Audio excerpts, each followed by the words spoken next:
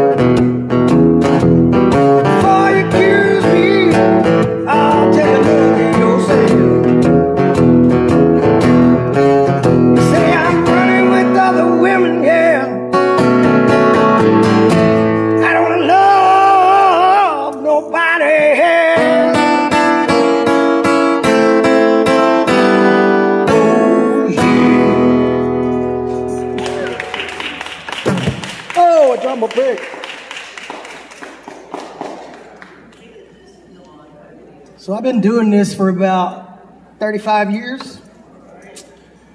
Uh, professionally, I've toured all over Europe and the United States, uh, playing guitar and singing.